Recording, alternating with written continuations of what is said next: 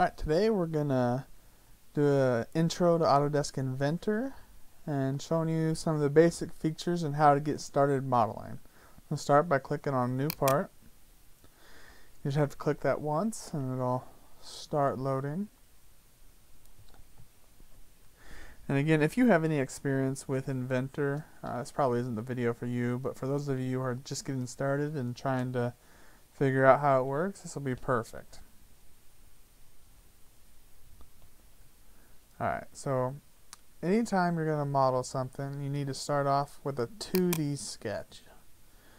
So here are some basic things you can do lines, circles, arcs, rectangles. So you just you click line, click on the X plane, you can just draw whatever you want. Um, you'll notice it tells you the degrees. So I'm at zero degrees there dropping straight down to 90. Uh, so those are some nice features with that. I'm going to finish that sketch. I'm going to delete that. Uh, same thing works for circles. Just click, put them. You can dimension it. Click in dimension, then clicking on it. Let's say one inch. Um, now to make this 3D, so right here we have a circle. Let's make it into a cylinder. Go over here, click 3D model, click extrude. I always like doing it from the center, so I click here, and so it's going to extrude evenly out both sides, and then make that 5 inches. So now we have a 3D cylinder.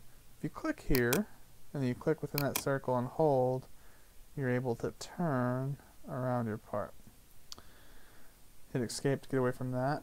Now let's say we want to add something to this. Maybe we want to put a square hole through the middle of it. So what we're going to do is left click this face.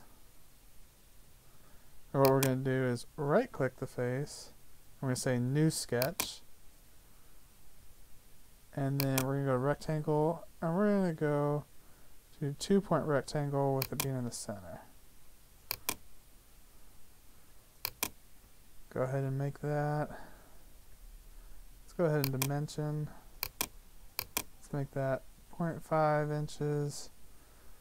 And then let's make each side equal. So what we can do is hit this equal button, click this one, and then here, and now they're both the same size.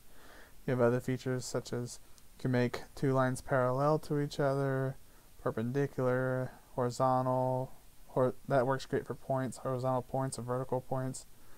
Here you can make things tangent. So now we're going to cut that square out through the middle. We go again to extrude. This time we're going to click cut. And you can specify a distance or you can just say all the way. There's some other features there, but for now I'm just going to have it go all the way through.